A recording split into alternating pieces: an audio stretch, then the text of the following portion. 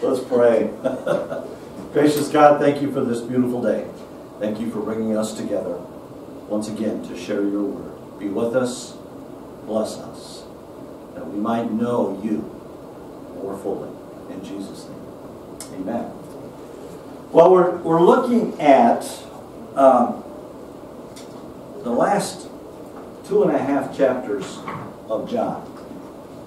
Um, and I, I'm, I'm kind of scrunching it in because this is the last Sunday before Lent, and um, it, just seemed appropriate to me that we start something, uh, or that Pastor Josh starts something fresh for the season of Lent, and we can finish up all this.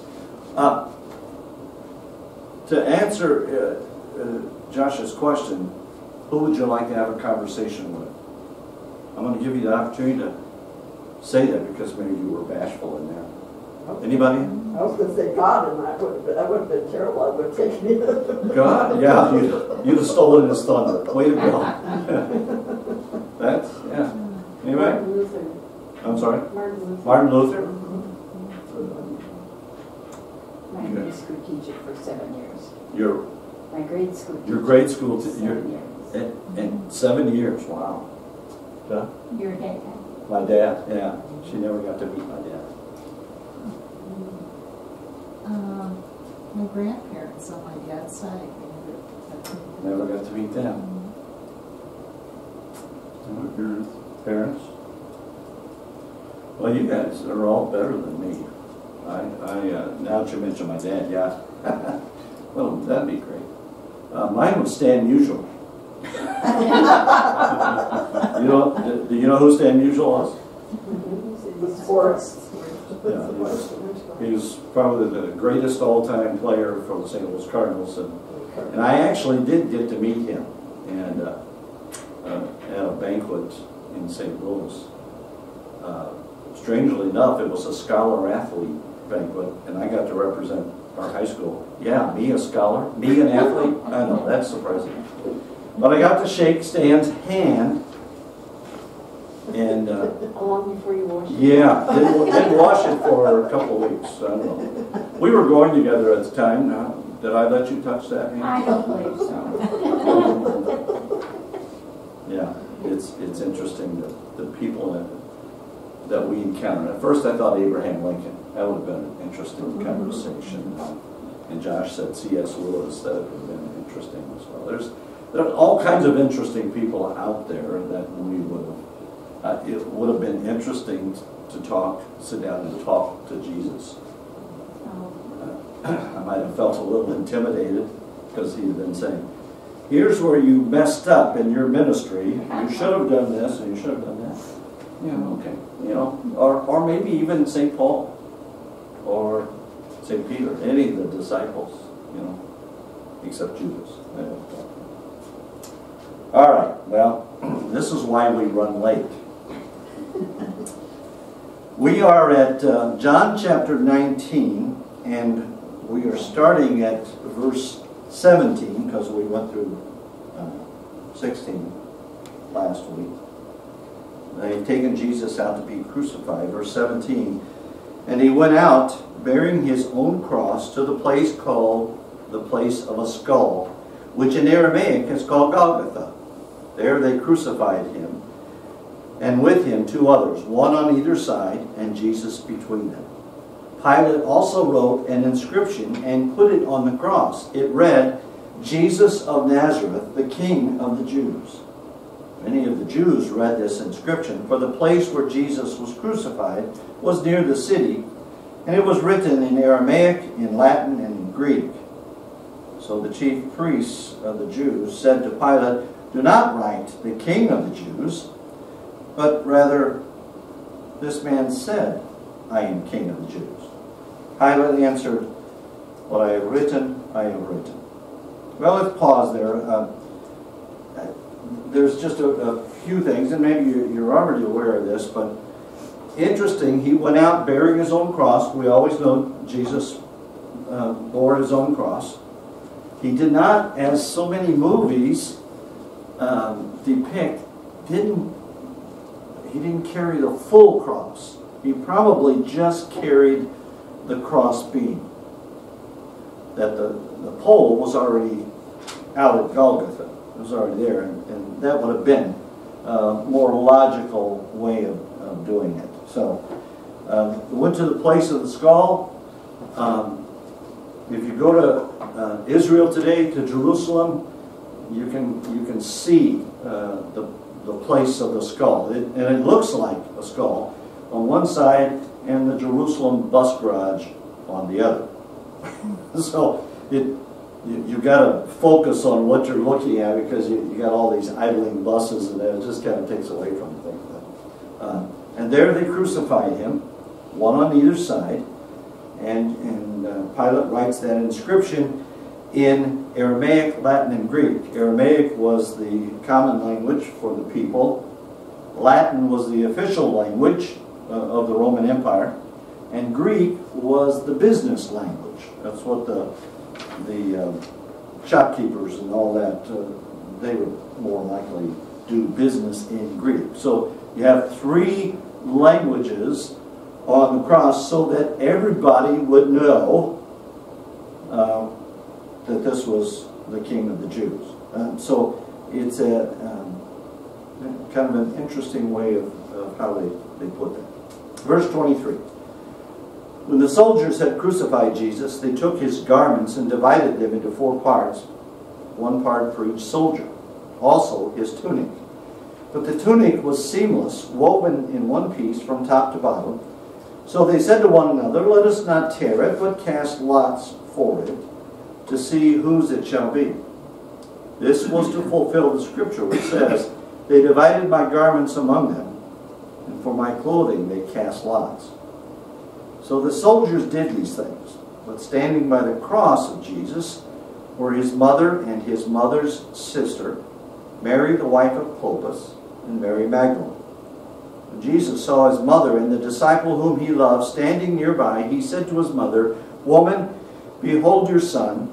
Then he said to the disciple, Behold your mother. From that hour the disciple took her to his home. After this, Jesus, knowing that all was now finished, said, to fulfill the scripture, I thirst.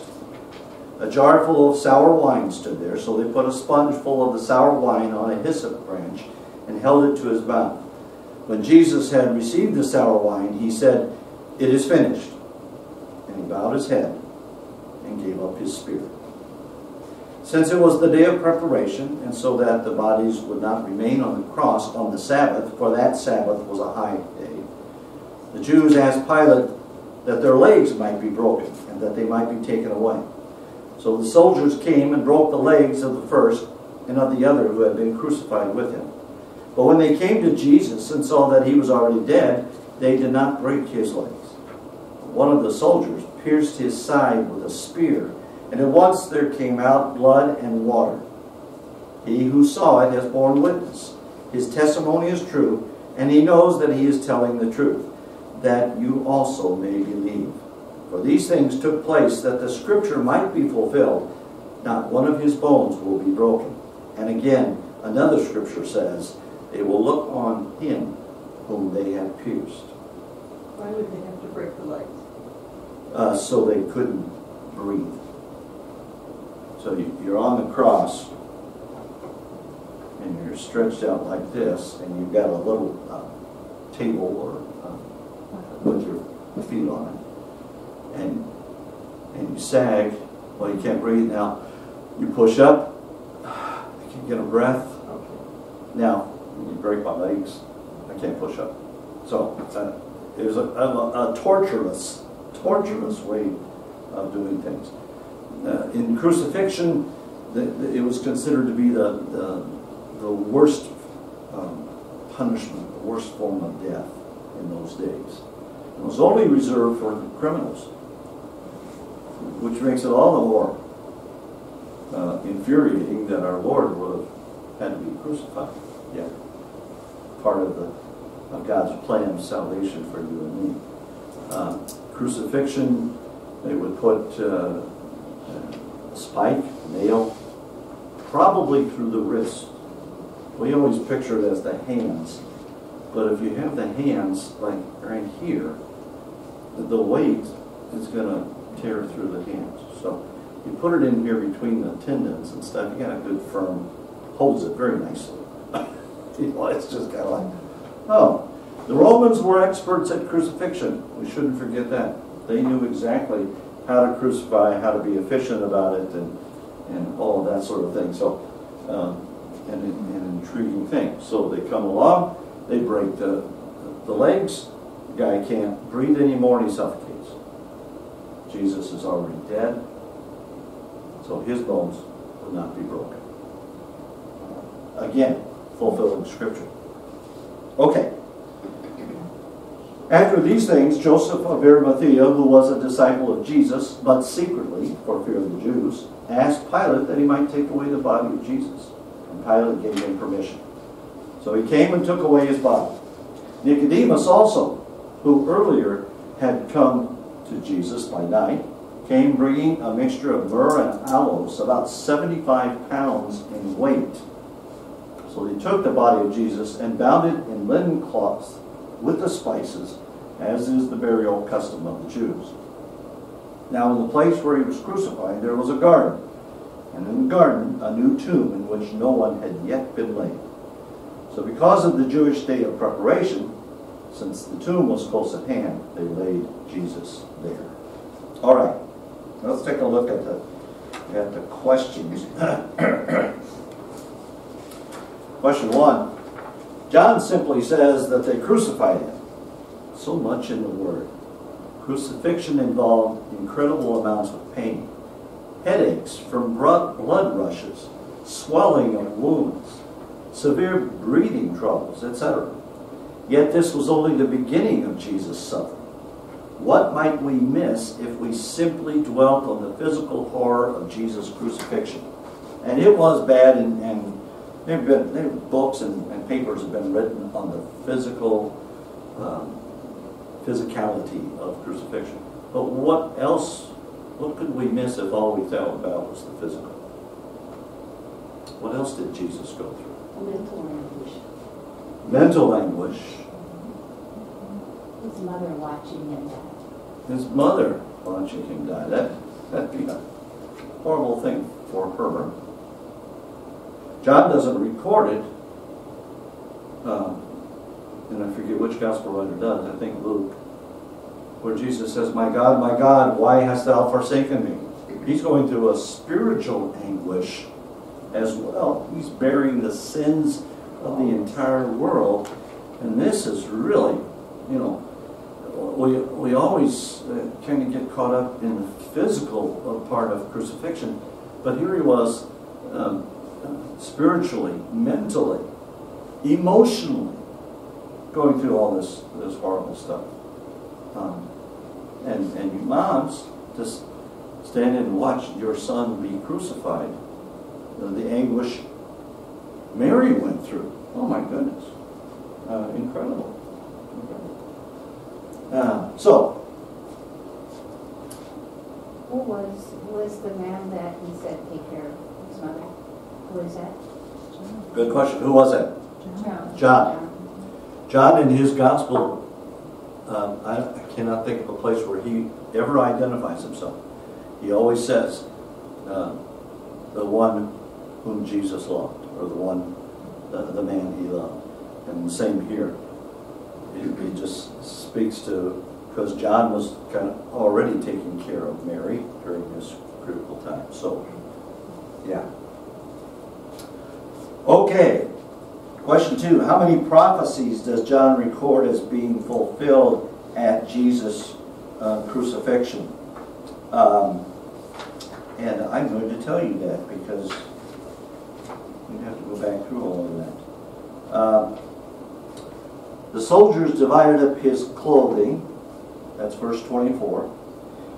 Jesus said, I thirst. Verse 28. Jesus' legs were not broken, verse 36, and his side was pierced, verse 37. So, four prophecies that uh, spoke of uh, those four things. What was the last one? Uh, that uh, his side was pierced. Verse. Verse 37.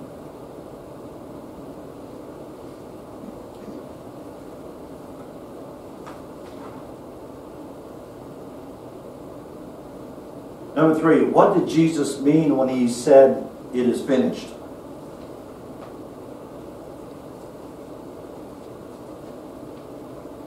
Nothing more could be done. It was done.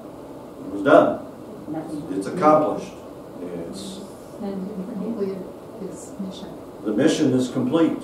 It's done. The, uh, the Greek word for it is finished is tetelestai. Tetelestai means paid in full. The merchants would use that. When you bought something, they'd give you a receipt. They, I don't know if they had stamps back in those days, but they would stamp it tetelestai. And that's exactly what Jesus said. To tell us that. It's paid in full. There's nothing left to be done. It's, it's all finished. It's a, it's maybe the, in the English translation, it's the three greatest words of the Bible. It is finished. Wow, that's a fantastic thing. Uh, number four, how had Nicodemus grown in faith? and, and Joseph of Arimathea as well. How had they both grown in faith? When did they come to Jesus? Fine. By night. Nicodemus by night. Because, you know, you don't want to do stuff where people can see you. Um, and it says uh, uh, that uh, Joseph followed Jesus secretly for fear of the Jews. Now they come out publicly. I want the body of, of Jesus. I mean, he goes to Pilate and asks for it, Joseph does. And Nicodemus is bringing 75 pounds of spices. Now, you know, it's kind of like uh, uh, they said about uh, Lazarus when Jesus wanted to go see Lazarus, and, and uh, you know, Lord, by this time he stinketh. That's King James. the body is decaying, it is not a pleasant odor.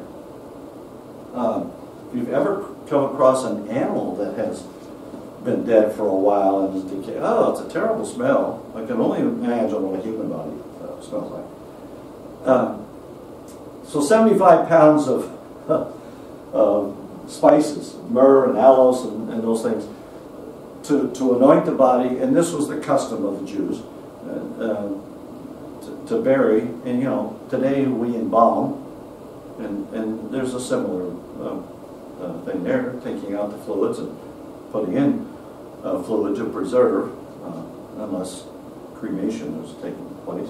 But yeah, so Nicodemus, he, he brings 75 pounds of, in weight. Oh my goodness. I don't know that he carried all that. He might have had, uh, you know, he had servants or whatever. So, okay. And then the, in the place, uh, there was a garden, garden, a new tomb. No one had been laid. Um, so they put Jesus there. Um, Joseph's tomb, and, and it, uh, you know, you go, a new tomb, nobody had been laid. That's kind of like, well, that's what we think of today. You know, if there's a burial plot, they dig a, a hole. There's nobody has used this. But those tombs were different. They were carved out of rock, and you know, maybe it was used once before, and they took the bones and you know after everything, and they shoved them off to the side or something. I don't know. Um, but this one was brand new and they, they put Jesus in this brand new, um, brand new tomb. So,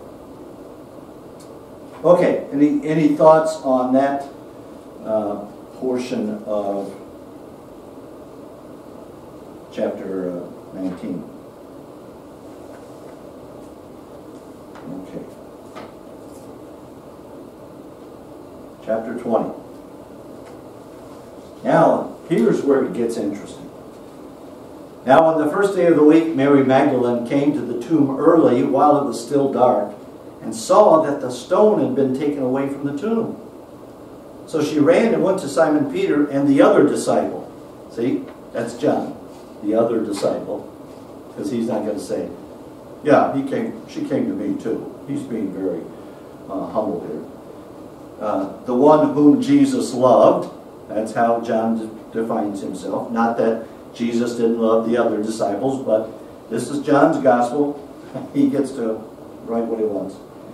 And we do not know, let's see, where, um, so she ran and uh, the one Jew and said to them, They have taken the Lord out of the tomb, and we do not know where they have laid him. So Peter went out with the other disciple, and they were going toward the tomb. Both of them were running together, but the other disciple outran Peter and reached the tomb first. He's a younger man, and he, he sprints. He wants to know what's going on. And stooping to look in, he saw the linen cloths lying there, but he did not go in. Some commentators have suggested that uh, John was associated with a priestly class, and he knew the the uh, well, Peter would have known too the, the obstacles or the problems of touching a dead body. He'd been unclean, so he's just going to look in there and see what's going on. Uh, then Simon Peter came, following him, and went into the tomb. Ah, not Peter. Isn't this typical of Peter? he, he's going to say whatever he wants to say, and now he just charges into the tomb. he saw the linen cloths lying there, and the face cloth which had been on Jesus' head, not lying with the linen cloth, but folded up in a place by itself. Then the other disciple, who had reached the tomb first, also went in and he saw and believed. For as yet they did not understand the scripture that he must rise from the dead. Then the disciples went back to their homes. Which I find a little bit, All in a day's work. yeah, Yeah. oh yeah, the tomb's empty. Let's go home. It's just about lunchtime. And there's Aunt Mary. And, and Mary's going, well, hello. What's, yeah, I, I don't, that's the only gospel that says, then the disciples went back to their homes. I, I, I don't know why, maybe John's feeling bad and he's, this is confession time, I don't know. Um, but it is kind of strange. If you know that your Lord has been laid in this tomb and the tomb has been sealed with this rock, nobody's going to move it, and now you come back and the tomb is empty. Then he go home? I don't know. I, I think I would have been trying to find out. I'd gone to the other disciples and said, hey, there's something strange going on here. At the very least, right? Okay. Uh, but, uh, but Mary stood weeping outside the tomb. And as she wept, she stooped to look into the tomb. She saw two angels in white sitting where the body of Jesus had lain, one at the head and one at the feet. They said to her, Woman, why are you weeping? She said to them, They have taken away my Lord, and I do not know where they have laid him. Having said this, she turned around and saw Jesus standing, but she did not know that it was Jesus. Jesus said to her, Woman, why are you weeping? Whom are you seeking? Supposing him to be the gardener, she said to him, Sir, if you have carried him away, tell me where you have laid him, and I will take him away. Jesus said to her, Mary. She turned and said to him in Aramaic, Rabboni, which means teacher. Jesus said to her, Do not cling to me, for I have not yet ascended to the Father. But go to my brothers and say to them, I am ascending to my Father and your Father, to my God and your God. Mary Magdalene went and announced to the disciples, I have seen the Lord, that he had said these things to. I, you know, you got to chuckle a little bit. I mean, this is a grand and glorious day. I mean, it's the, the best day in our lives without, without Easter. There is no Christmas. Without Easter, nothing else matters. So this is a, a, a marvelous day. This is why we Christians get all all worked up and celebrative and, and uh, all that, and we drag out our, our Easter eggs and our chocolate candy, and, you know, we, we do it upright.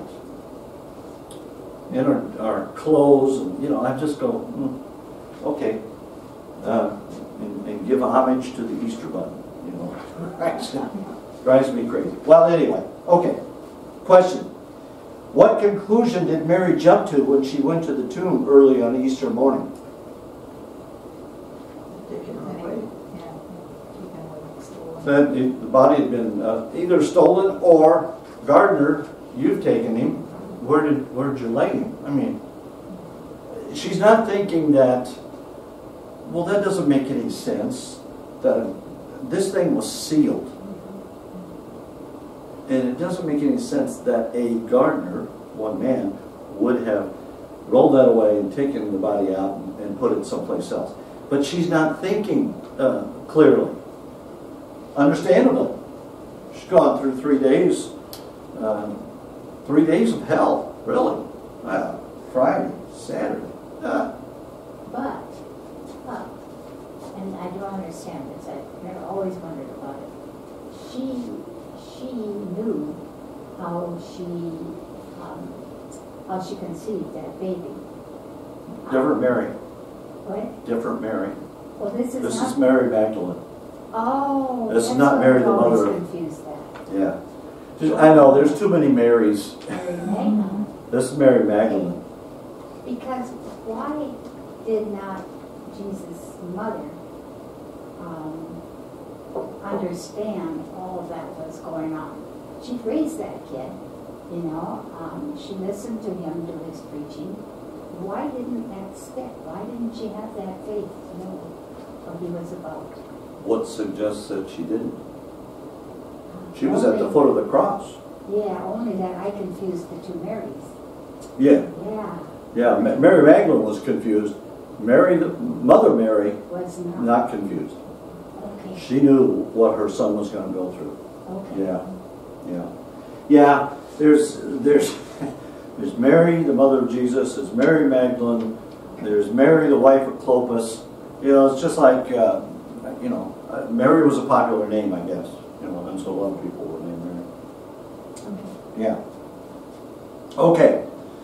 Uh, so she's a little, Mary Magdalene is, is confused. I probably should have put that in there instead of just Mary.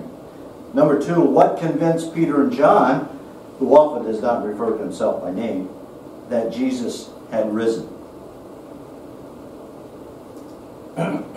What do you think? Tomb's empty. John looks in.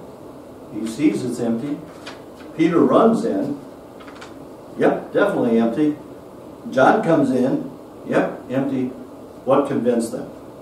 Other than the empty tomb. The prophecy? Mm-hmm. I think the burial clothes. The, referring or reflecting on the prophecy, certainly. Mm-hmm. The burial clothes. They're not. They're they're folded up. You know, if somebody's going to rob the grave, they're not going to care about the burial clothes. But here, the the uh, clothes are folded up nicely. Yeah, it sounded like there were two Two what? burial cloths. Yeah, one, One for the the body and one for the head. So when they talk about the shroud of Turin, is that just the one over the face? If it's even legit. Yeah, I, I think it, I think it's um, it's the body, pro- uh, but it's the image of of Christ, so it must have been over the face too. Do Uh, you think that's the legitimate one? Did- Did they find it? Well, I think it's possible, but there's too many, there's too many relics out there that, that people tend to hold, you know. I was told when I was a kid that under every um, altar in a Roman Catholic church, there was a piece of the cross, the original cross. That had to be the hugest cross in the world. I mean, there's too many Catholic churches for one. And I, I don't know, but I was told that. And, um, and I don't know if they still, you know, adhere to that or not. Uh, the Shroud of Turin, um, I, I personally don't need it to prove anything to me. It would be interesting if it is true. Then you, you know, and I think, I think we Christians so desperately want to have something to hold on to, and I think that's the dangerous part. Because you and I believe by faith that Jesus died and rose again. You want to see the physical. They want to see some physical evidence, and that's where I think the Shroud of Turin, you know, gets. It's like uh, these different uh, places uh, where you got the weeping statue of Mary and stuff like that. I know, you know, you know, if it is, it is, but it doesn't matter to me. I still believe. So, all right. Uh, number three, Jesus sent Mary's fears away with a single word. When Mary saw Jesus, she stopped asking questions and clung to him dearly. What message was Mary to give to the disciples? Yeah. What's the message?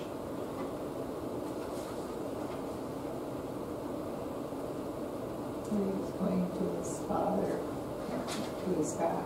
Yeah. And he's going on to his father and their father, to my God and their God. Uh, there's the, the, uh, Mary. Uh, she turned and said to him in Aramaic, Rabboni, teacher. She, she had to recognize the voice, I think. Ah, this is, this is Jesus. And then, of course, what does she want to do? She's going to hug him. Yeah. Hey. Oh, I'm so excited. I'm so thrilled. that You're, you're, you truly are alive. And, da, da, da, da, da. and he says, uh, don't cling to me. Because I'm not sticking around. And, and he's, uh, other things, he's, he's going to be leaving again. If you cling to the physical presence of Jesus, that's going to cause you problems later on. It's kind of like back to the Shroud of Turin. If you're going to cling to that as proof, you know, what happens if somebody destroys that shroud? Or, or through all the tests they can do today, they discover it's not. Oh, well, wait a minute, that's not real, then my faith's not real, and then what do I believe in? You know, uh, this is, this is where we keep saying, it's the Word of God that teaches us, and that bring, and it's the Holy Spirit that brings us to faith. So I believe whether, um, you know, whether I have physical proof or not. It's like uh, I, I was doing a, a Bible study with some men in the Gospel of Matthew uh, the other night. We were talking about uh, when Jesus is going to return and how some of these churches and some of these um, uh, soothsayers out there say, uh, get yourself ready because he's coming in this year. And I, I told the guys about a uh, track or a little booklet I got back in 1988. 88 reasons why the rapture is going to happen in 1988. Hmm, I thought, well, that's curious. I think I threw it away. Next year, I got another one that said 89 reasons why the rapture is going to happen in 1989. Uh, you know, you get people all worked up. They tell them to sell everything, you know. Well, then when it doesn't happen, they're stuck and they're hurting and they're doubting. You and I, we believe what the Word says. And that's the problem that uh, Tom, we're going to see Thomas having too. Moving on, verse 19. On the evening of that day, the first day of the week, the doors being locked where the disciples were for fear of the Jews. Who are the Jews?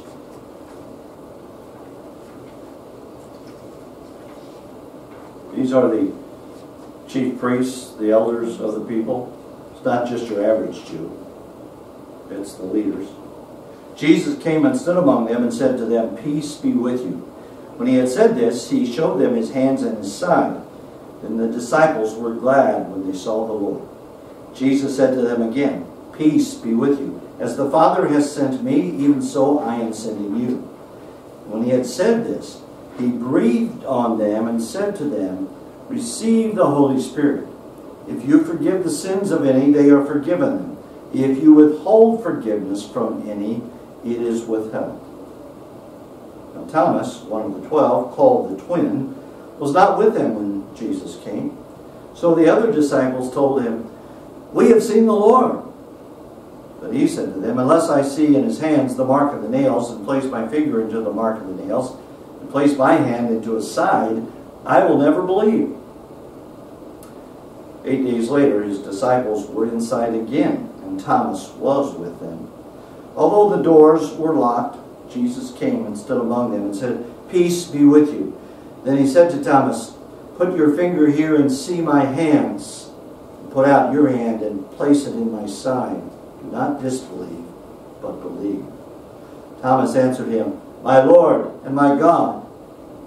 Jesus said to him, Have you believed because you have seen me? Blessed are those who have not seen and yet have believed. Now, Jesus did many other signs in the presence of the disciples, which are not written in this book. But these are written so that you may believe that Jesus is the Christ, the Son of God, and that by believing you may have life in his name. All right. And the computer did a number on me. Took out of space. Question one. The disciples had quite a day. Reports came flooding in from Mary, the other women, Peter and John, and the two disciples who were on their way to Emmaus. The climax of the day came when Jesus appeared to them. He said, Peace be with you. Contrast this with what Jesus could have said. What could he have said? What would you and I have said? Let's, put it that way. He says, Peace be with you. Can't imagine what I've been through. You can't imagine the last three days of my life. And where were you guys? I mean, you look at the disciples, they all took off. And I told you and I told you, and you didn't. I told you, and I told you, and I told you. Sounds like something we said to our kids, right? Mm-hmm. I told you and told you this was going to happen, but you don't listen. And Jesus could have said that. He did not. Because he's all about grace mercy and love and peace. Peace be with you. He knew what his disciples had gone through. They were upset. They were, you know, behind locked doors for fear of the Jews. So he knew they were, you know, stressed. So wasn't it a beautiful thing to say, Peace be with you? Ah. Consider, and I haven't done this, but consider how many times peace is said in our worship services. You know, grace, mercy, and peace from God our Father, from our Lord and Savior Jesus Christ. Peace of the Lord be with you. Pastor ends, uh, go in peace. You know, those kind of things. sprinkled throughout the, the, the worship service frequently is the word peace. Hmm. Because I think I had no plan in, in establishing the liturgy, but I think those who did knew how much we as desperate human beings need peace in our lives. Conflict's been here ever since Adam and Eve. Absolutely. It's only getting worse. It gets worse. Aren't you glad you don't li- live in East Palestine, Ohio? Yes. I, I feel so badly for those folks. Well, And so they're, they're under tremendous stress. I don't even want to bathe my children because of the water. Well, drink bottled water. Well, okay, fine. I can't afford to buy bottled water all the time, though. You know, I don't know what. It's a it's a blue collar town, I think, and, and it's not a, a high income community as far as I know. You know, so they're under such tremendous stress. Or if you lived in Ukraine, oh my goodness, every single day they don't know if a bomb's going to hit them. You know, so Syria. Syria, Turkey, thousand now? forty-one thousand, uh, That's half the city of Brooklyn. forty-five thousand now. Uh, Yeah, But another one was, ta- was state. Was there?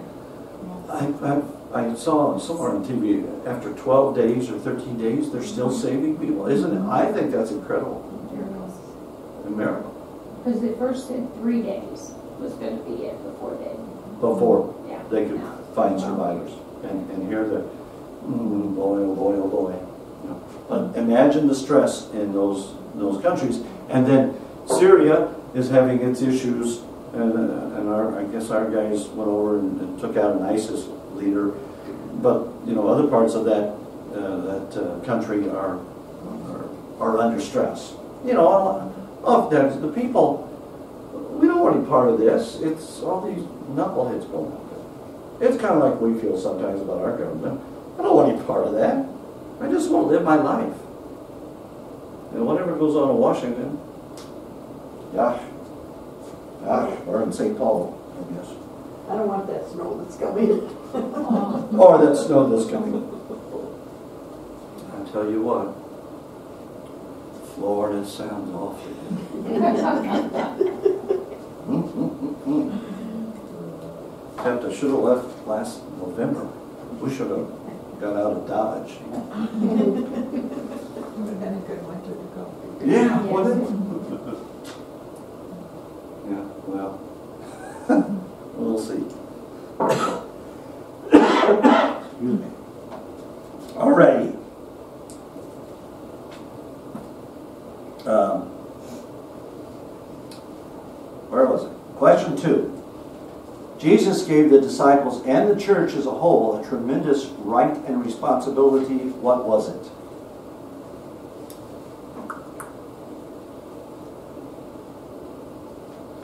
We Lutherans call it the office of the keys. You learn this in confirmation class out of your catechism. See, I'm, I'm being that. You should have learned this in your class.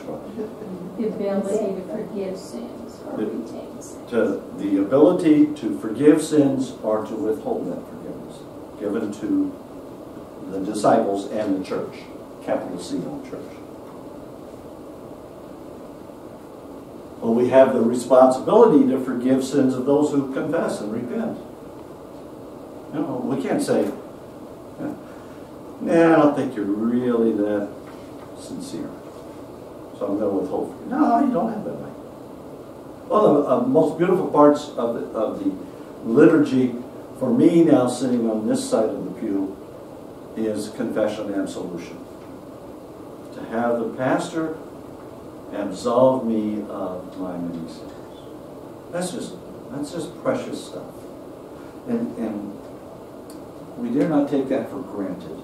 That well, let's get through this part of the liturgy so we can move on kind of thing.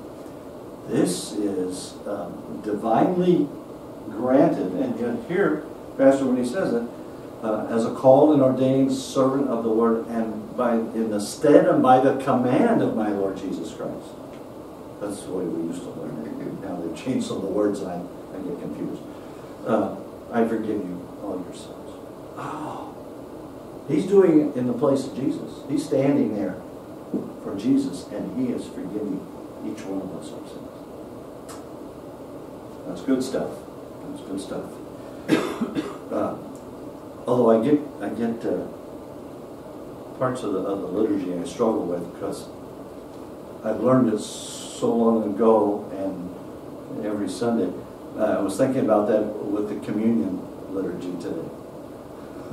The Lord be with you and also with you. Um, Give thanks to the Lord. We used to say, it is meet and right so to do. Now I don't know what we say. But I, I thought of that today. Because that's why I have to look at the screen. I can't depend on, on my memory. And that's not a fault of the liturgy. I'm not complaining. I'm just going, what happened to meet and right?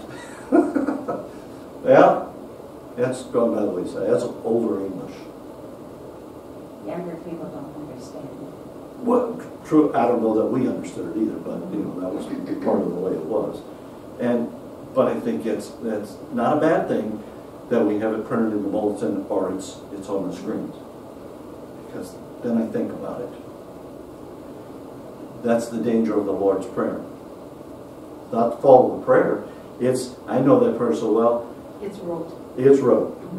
And you just whip it out and, you know, I used to tell my confirmation class, don't just memorize it and recite it. You look at it and read it. And we would always print the Lord's Prayer because I wanted them in church to see it. And and not whether they did or not. Oh, I'm sure they did if I said so. I'm sure. Yeah, yeah. Okay. Uh, So number three, how did Jesus deal with doubting Thomas? I, uh, uh, doubting Thomas. Poor old doubting Thomas. He appeared, even though the door was closed, he appeared and told him to put his hands into the, Check it out, Thomas. Here it is. You had doubts? Here, put your hands on my side. I always thought that the first sermon I ever preached before I ever went to the seminary was a, was Easter, uh, Sunday after Easter, and the gospel for that Sunday is always, or usually, depending on the, the lesson, John 20, 19, 31, it's Doubting Thomas. And so I was, I was teaching in a school in Florida. where it was warm and all that. Uh, and the pastor was going to be out of town in a small church, and he asked if, if I would, since I was going to the seminary. They always thought, since you're going, well, I didn't know anything. I was, yes, I'm going. Um, if I'd lead the service and preach a sermon. And uh, yeah, but I didn't know how to preach a sermon. But I got I got this gospel, and I always, I've always liked Thomas. Because I think Thomas said what the other guys were thinking. And we give him the poor guy doubting Thomas. We can't just call him Thomas, he's doubting Thomas. We're all doubting. And we're all, you know, you could say doubting Peter, doubting, you know, doubting John, doubting Matthew, whatever. Uh, but uh, poor old Thomas. And he, he speaks up and says, How could this be? Just help me understand this. And Jesus did. He helped him understand. How can people forgive sins? Isn't God the only one who can forgive sins? Whoa, what do you say to that?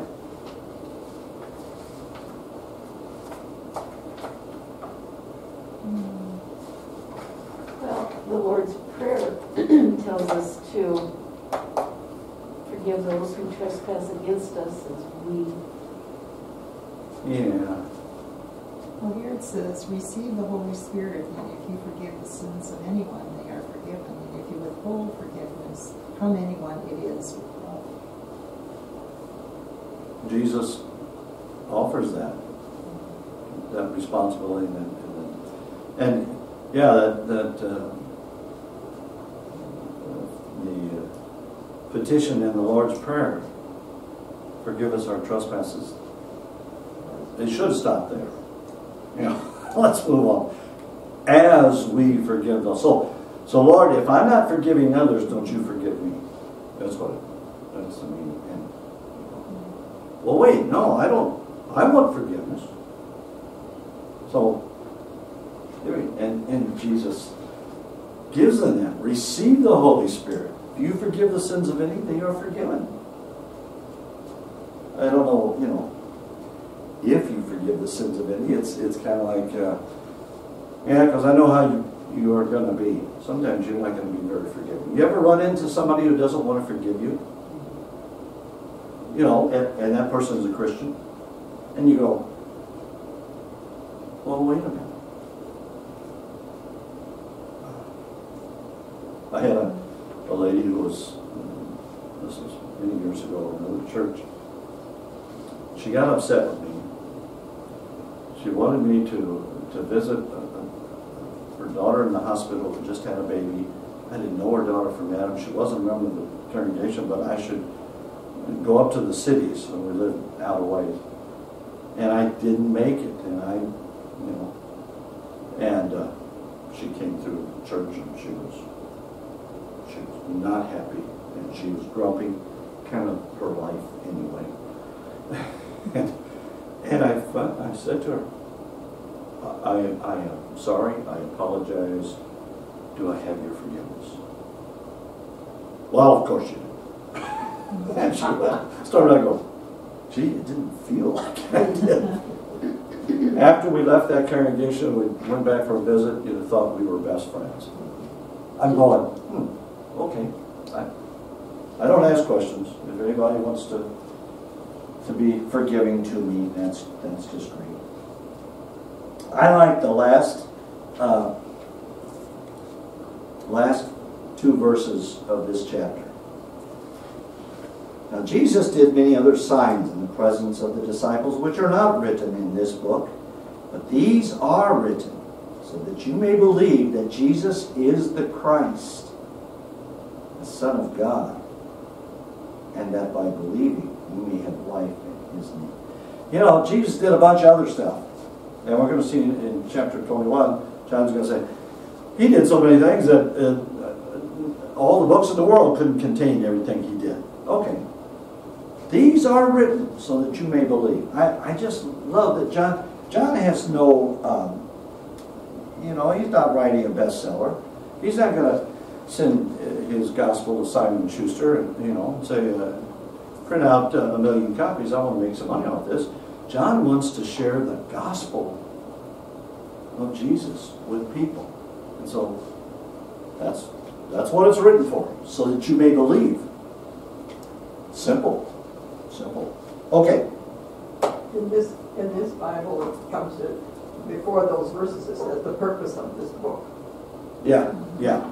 Yeah, it's a good, uh, I'm wondering, it says that, yeah, it says that in my book, in mine too. Uh, so here, summed up in, in, in the, uh, the, the whole thing is, here's here's why this book is written. This is the purpose. All right. John chapter 21. Jesus appears to his disciples in Galilee. After this, Jesus revealed himself again to the disciples by the Sea of Tiberias. That's the Sea of Galilee. And he revealed himself in this way. Simon Peter, Thomas, called the twin, Nathanael of Cana in Galilee, the sons of Zebedee, and two others of his disciples were together.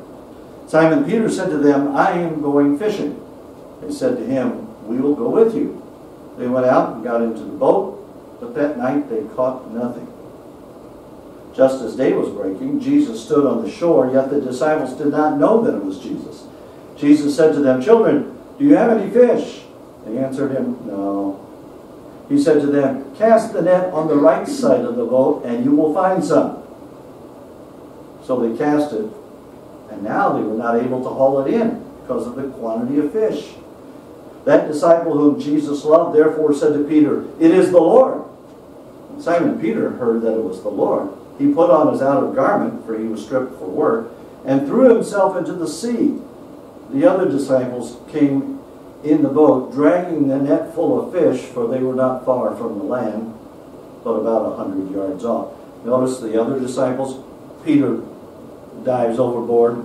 He doesn't have to carry the fish in. Uh, anyway. When they, verse 9, when they got out on land, they saw a charcoal fire in place with fish laid out on it and bread. Jesus said to them, Bring some of the fish that you have just caught. So Simon Peter went aboard and hauled the net ashore, full of large fish, 153 of them. And although there were so many, the net was not torn. Jesus said to them, Come and have breakfast. Now none of the disciples dared ask him, Who are you? They knew it was the Lord. Jesus came and took the bread and gave it to them, and so with the fish. This was now the third time that Jesus was revealed to the disciples after he was raised from the dead.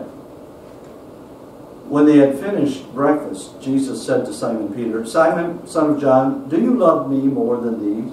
He said to him, Yes, Lord. You know that I love you. He said to him, Feed my lambs. He said to him a second time, Simon, son of John, do you love me? He said to him, Yes, Lord. You know that I love you. He said to him, Tend my sheep. He said to him the third time, Simon, son of John, do you love me? Peter was grieved because he said to him the third time, Do you love me? He said to him, Lord, you know everything. You know that I love you. Jesus said to him, Feed my sheep. Truly, truly, I say to you, when you were young, you used to dress yourself and walk wherever you wanted. But when you are old, you will stretch out your hands, and another will dress you carry you where you do not want to go. This, he said, to show by what kind of death he was to glorify God. And after saying this, he said to him, Follow me. Peter turned and saw the disciple whom Jesus loved following him, the one who also had leaned back against him during the supper and had said, Lord, who is it that is going to betray you? When Peter saw him, he said to Jesus, Lord, what about this man? Jesus said to him, If it is my will that he remain until I come, what is that to you? You follow me. So the saying spread abroad among the brothers that this disciple was not to die. Yet Jesus did not say to him that he was not to die, but if it is my will that he remain until I come, what is that to you? This is the disciple who is bearing witness about these things, and who has written these things. And we know that his testimony is true. Now there are also many other things that Jesus did, were every one of them to be written. I suppose that the world itself could not contain the books that would be written. There you go. John chapter 21. Question one Peter's desire to go fishing set up the miracle Jesus was about to perform. How did it do that?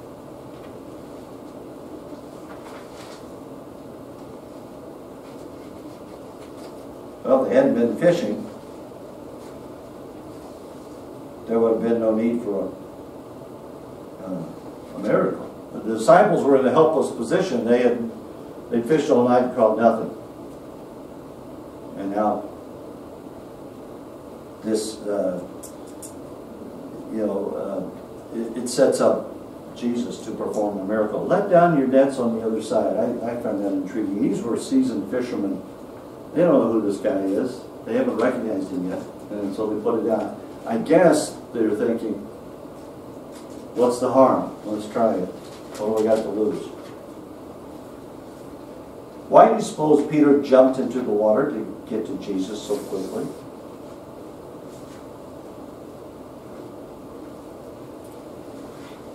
That's its personality, isn't it?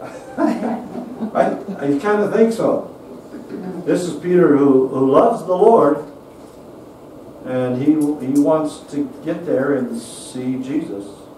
When he finds out it's Jesus, I, I like the way it, the Bible puts it, he threw himself into the sea. Mm-hmm. Right? That's a different way than what, you know, he dove into the water is the way we'd say it today. But it's the same concept. Peter had said that even if the other disciples fell away from Jesus, he would not. His love was greater than that of his fellow disciples. How did Jesus use this statement of Peter's as he spoke with him? How did Jesus use the fact that Peter had denied him three times? Lord, all the rest of these guys may uh, abandon you, but not me. That's how much I love you. What does Jesus say? Peter, Yeah, he told him that he may love him, but he wasn't going to hold true to that. He was going to hmm. do something wrong. but how does, how does he challenge him in this scenario? By telling him what he was going to do wrong? Well, no, by asking him, do you love me? Mm-hmm. And how many times does he do that? Three times. Three times. How many times did Peter deny him? Three Three times. This is kind of Jesus' way of, of bringing him back into the fold. Peter, you denied me three times. You have now confessed your love for me three times. We're all good. I want you to feed my sheep, to feed my lambs, to tend my sheep. I want you, Peter. So Peter had to feel good about that. Uh, Question four, Jesus prepared Peter for martyrdom. Peter objected as he had done before. In fact, he was jealous of John. Why? Did Jesus really say that John would not die?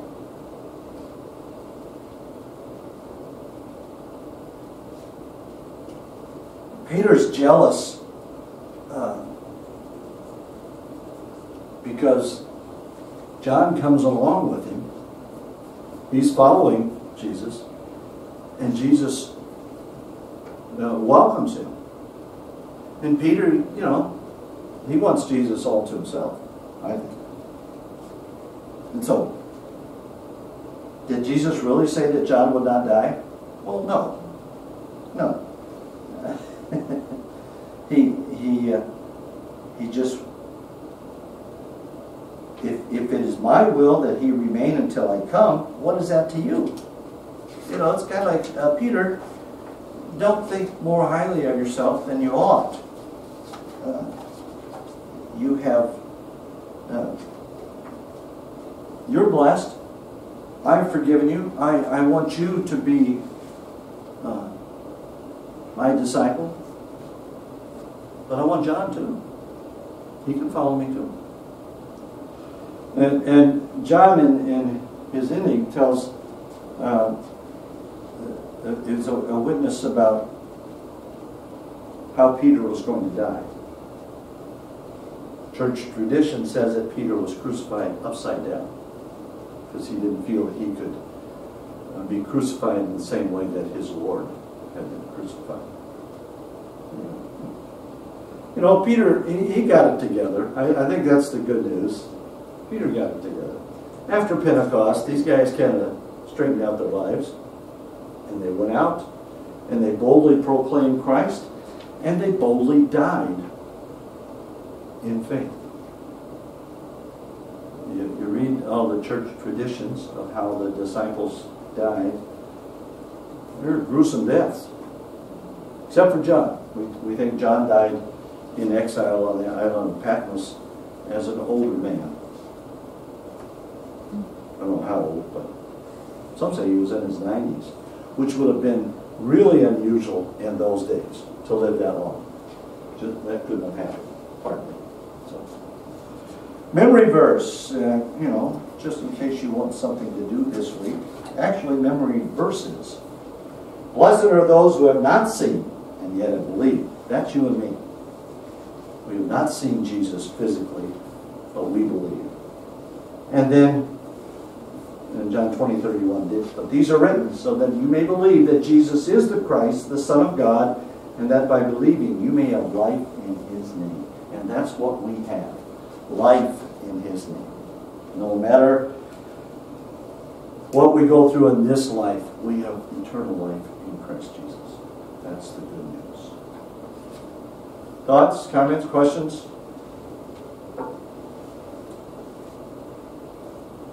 You can see the cave yet in Patmos. John I'm sorry, you can You can see. see the cave Oh, can you? where John was, um, in, you know, incarcerated, I guess. You can see where he supposedly laid the book when he was writing it. Um, not- Supposedly, yeah. Yeah, um, I was there about, um, fifteen years ago. Oh, okay. And, um, it's not as touristic as so many places are. um, it's very quiet there and hardly visited. Yeah, I was surprised. interesting. I was there getting off the cruise ship and uh, very few. Yeah, It was yeah. awesome. Oh, that's neat. Yeah, That's neat. Uh, We were in Israel a number of years ago and, and went by the, the tomb of Lazarus. And across the street from the tomb of Lazarus was a, a souvenir shop. You know, Yeah, just leaves a little bit, so that's nice to hear that. there wasn't fifteen years ago. Yeah, yeah, yeah. Well, you should probably take another cruise and go back and find out. I should. Yeah. All right. Yeah, where would the Isle of Patmos be off of what? Oh, it's, it's off of, um, One of the Greek islands. yeah, Okay. Not too far from, um, Mykonos and, um, not too far from Santorini. okay, Some of those. yeah. Yeah, that, it's in the Mediterranean Sea. That, Or Rhodes is pretty close. Rhodes, The island of Rhodes is not too far. so the, the ship take, uh, take you to all those? Usually it does about three, or three of those on cruise. Yeah, okay. Is it warm there? Yes. Lots of olives. See, everywhere I go, it's cold, so I don't know. Well, we should uh, close our time up, and, and I don't know if the Pastor is is done, but that's okay. Let's, let's pray. Gracious God, we thank you for this gospel, this precious gospel that you have given to us. One that we can read, learn, and inwardly digest. One that we have with us each and every day. That reminds us that Jesus is the Christ, the Son of the living God, and that by believing in him we have life in him. So Lord, give us that comfort, give us that peace as we uh, travel through these uh, treacherous days, these stressful days. Remind us that we are in your hands, that we belong to you, and nothing will pluck us out of those hands. So go with us now, we pray. As we go our ways, that we might live our lives this week praising you, celebrating who you are. It's in Jesus' precious name we pray.